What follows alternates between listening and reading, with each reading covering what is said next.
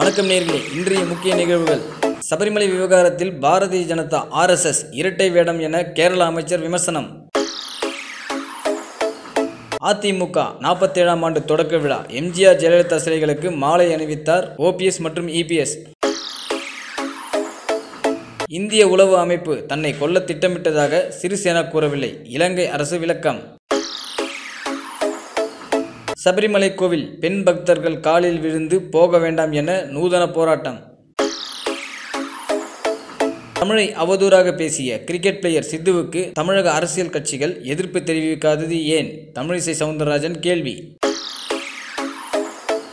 Dengue காய்ச்சல் தடுப்பு நடவடிக்கையை அமைச்சர் எடுக்கவில்லை. மு ஸ்டாலின் பேட்டி. நான் மக்களை நோக்கி செல்கிறேன். அவர்கள் என்னை நோக்கி வருகிறார்கள். நடிகர் கமலஹாசன். பாகிஸ்தானில் ஏழு வயது சிறுமியை பாலியல் பலாத்காரம் செய்து கொலை செய்த குற்றவாளிக்கு தூக்கு தண்டனை நிறைவேற்றப்பட்டது. கோகினூர் வைரம் இங்கிலாந்து ராணியிடம் சென்றது எப்படி? தொல்வியல் துறை புதிய தகவல். இனி அலகாபாத் நகரத்தின் பெயர் பிரயாக்ராஜ் உத்தரப்பிரதேச அரசு அதிகாரப்பூர்வ அறிவிப்பு. மேலும் இது போன்ற முக்கிய நிகழ்வுகளை நீங்கள் உடனுக்குடன் தெரிஞ்சு கொள்ள டுடே சினிமா யூடியூப் சேனலை மறக்காம சப்ஸ்கிரைப் பண்ணிடுங்க. டுடே சினிமா நேர்களுக்கு நன்றி வணக்கம்.